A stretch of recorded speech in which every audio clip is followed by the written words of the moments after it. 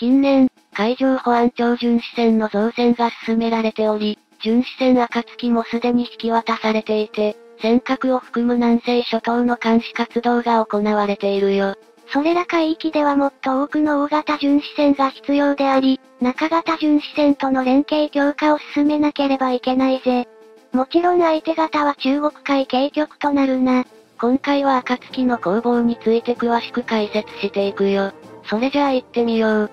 ゆっくりしていってね。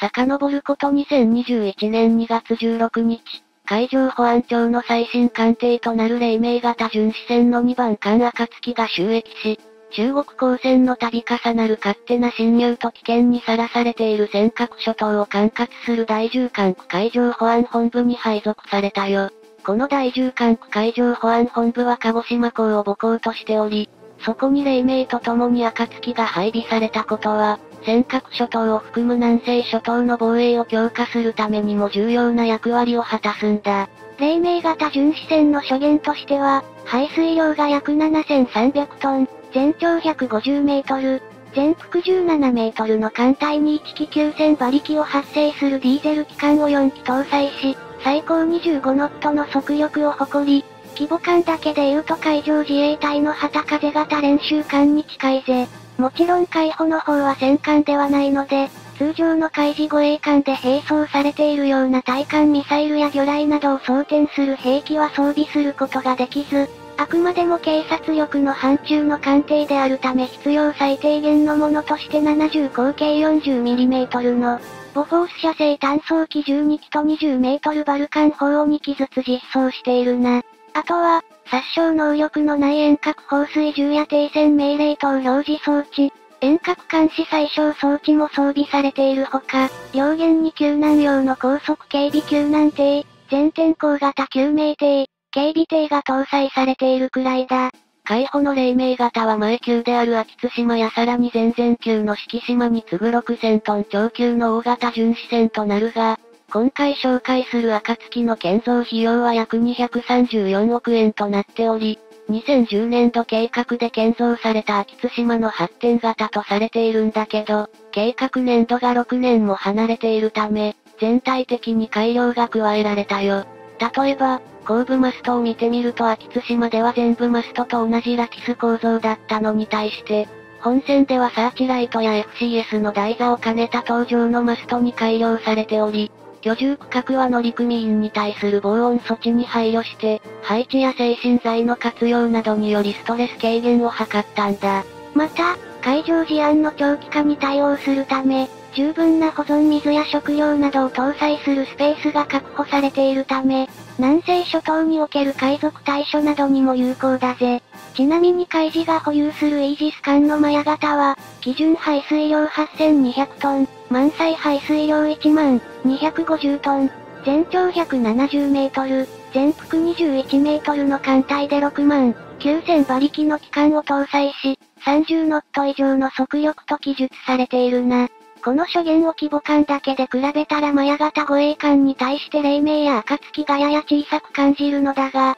建造費で比較すると1隻1700億円ほどの差で暁の約6倍近くもかかるため、イージス艦の高額レベルは桁違いらしい。もちろん海事護衛艦は敵国軍隊と戦うため、水上の戦闘艦として巡視船よりも設計構造的にも高額であることは仕方ないことだが、特にマヤ型は弾道ミサイル、迎撃可能なイージス兵器システムのコストが格別に大きいよ。マヤ型には SH-60 系哨戒ヘリコプター1機搭載することができるのに対して、暁は他の大型巡視船と同様に完備に大型ヘリコプターであるスーパーピューマ225 2機搭載することが可能だね。このスーパーピューマ225はフランスのエアバスヘリコプター社が2000年に開発した全長19.50メートル、全高4.97メートル、座席数21席、最高速力150ノット約 280km 毎時となる大型ヘリであり、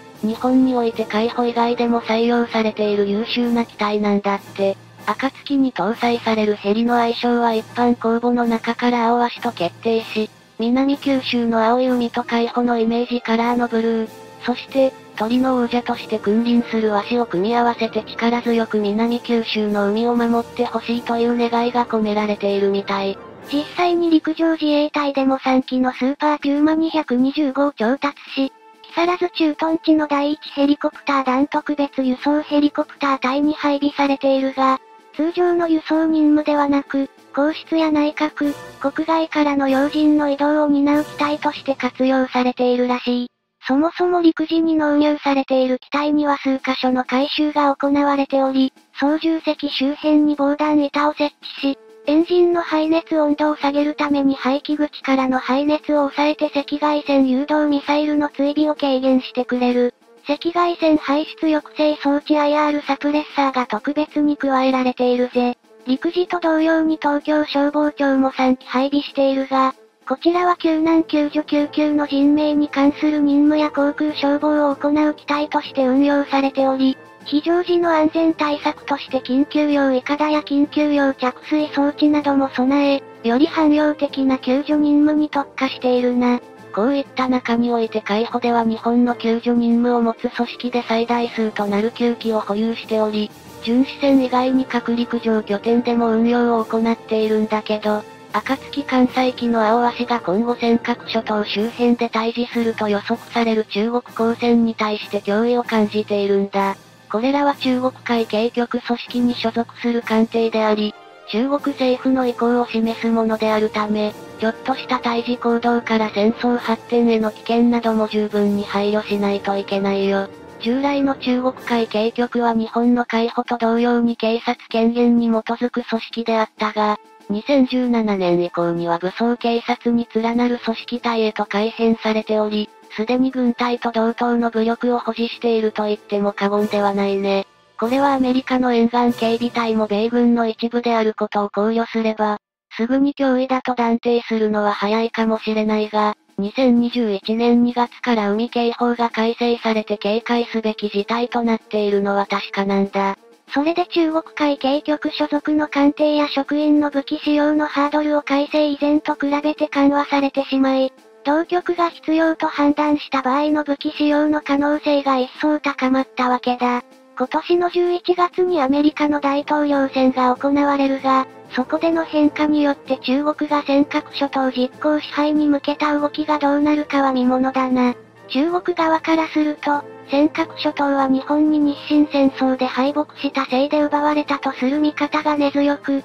日本が固有の領土だと考えていることとは全く相入れない主張をしているぜ。しかも尖閣諸島の周辺海域において、海保の艦艇は日本の漁船の操業を妨害されないように、侵入してくる中国公船から防護している状態であり、海保側から武力行使は一切できないんだ。仮に中国海警局艦艇が攻撃する気になれば武力衝突が発生しうるとして、海事艦艇の投入を進めるべきだという強硬意見も日本政府の高派などから出ているんだけど、それを戒める論説として先に手を出したのは日本であると中国に指摘させないためにも、慎重に慎重を重ねて対処すべきであるとした意見の方がまだ日本の主流であるのが実情なんだよね。仮に海事艦艇を投入したとしても、中国海警局側から攻撃を受けた場合に具体的な対処に関する本質的な問題は避けて通ることができず、政治主導での判断が求められることは避けられそうにないため、